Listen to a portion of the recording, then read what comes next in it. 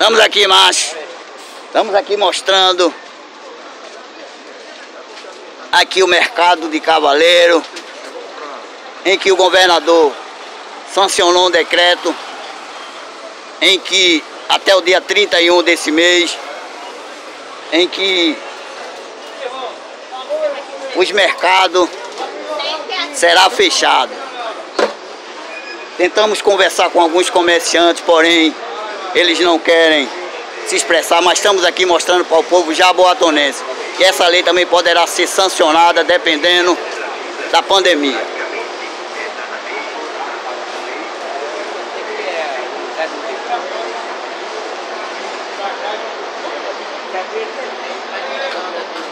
Dependendo da duração da pandemia, macho.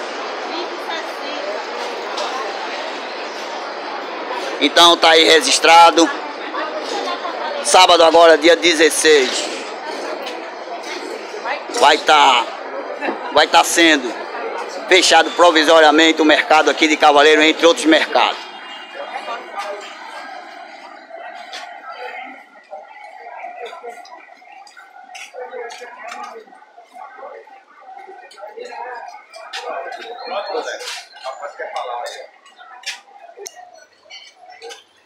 Estamos aqui no Mercado Macho, onde, no, onde há um decreto do governador em que